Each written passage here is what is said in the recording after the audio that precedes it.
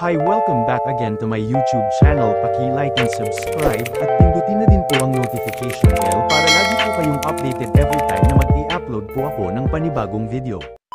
Kuya Rab di inaasahang mangyayari pala ito. Jomar matagal na palang napansin ito kay Carla. Malalaman natin tamamaya, sa mga bago pa lang sa aking YouTube channel please don't skip ads at paunawa tapusin niyo po muna ang video na ito para malaman ang kabuoan nito. Bago ko po simulan ang aking video isang mapagpalang araw po sa atin lahat at sanay nasa mabuti tayong kalagayan ngayon at pagpalain tayo ng ating Panginoon. Napakaswerte naman ni Bibi Carla sobrang na-experience niya ang mga ganitong pangyayari sa buhay niya na hindi niya inaasahang darating sa buhay niya ang mga blessings na ito. Kaya labis-labis ang kanyang pasasalamat sa buong team ng Kalingap dahil kundi dahil sa team Kalingap ay nabago ang estado ng buhay ng kanyang pamilya.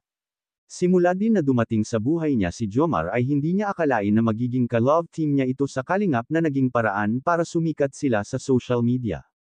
Sa ribbon cutting ng bahay nila Carla ay dito unti-unti na nating naiintindihan ang panig ni Carla na may pagtingin na rin talaga itong si Carla para kay Jomar at matagal na rin pala itong napapansin ni Kuya Jomar na may love na nga si Carla sa kanya. Sa napakagandang mensahe ni Carla para sa lahat ay nabanggit din ni Carla dito ang pangalan ni Jomar na tila nagsasabing mahal niya si Jomar kaya kunting hintay at tiis lang muna si Kuya Jomar dahil may tamang oras at panahon para aniya sa kanilang dalawa.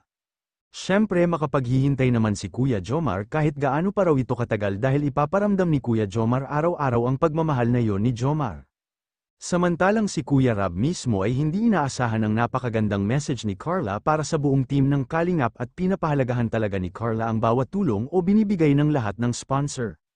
Deserve naman lahat ni Carla ang mga blessings na natatanggap ni Carla ngayon dahil sa napakabait nitong bata at ito lang ang pinapangako ni Carla hinding-hindi aniya siya magbabago mananatili pa rin ang ugali niya. Hanggang dito na lang po at bago po tayo magtapos ay huwag din pong kalimutan mag-likes, comments, suggestions o reaction sa video na ito at huwag din pong kalimutan suportahan ang lahat ng bumubuo ng Kalingap team sa pangunguna ng mag-amang Kuya Val Santos Matubang at ni Kalingap Rap.